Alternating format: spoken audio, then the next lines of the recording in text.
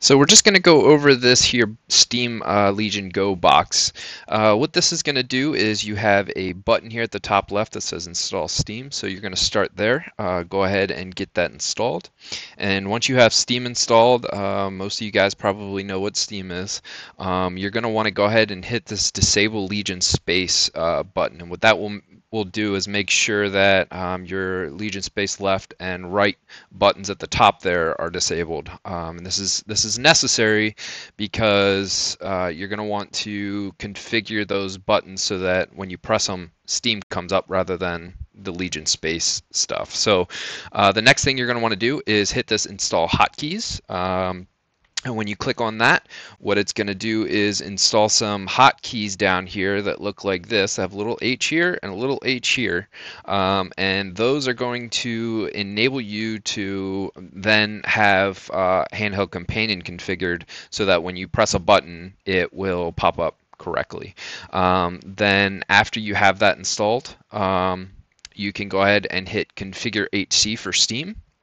And do a uh, start Steam on log on as well after that. Go ahead and click that button. And then uh, just reboot your computer and you should see Steam pop up into big picture mode and um, all is good.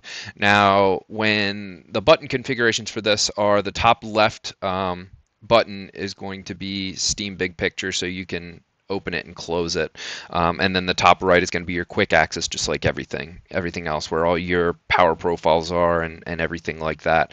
Um, so you know you can go ahead and click on this there's your your power profiles and everything like that your actions including all these shortcuts like xcloud and the browser and discord as well as your profiles here um, you can kind of see i have different profiles that i made so um, and then when you hit the left legion button um, as long as I have it configured here for Steam, yeah, you can kind of see I just hit the left Legion button um, and Steam is loading uh, and it should load into um, Steam there.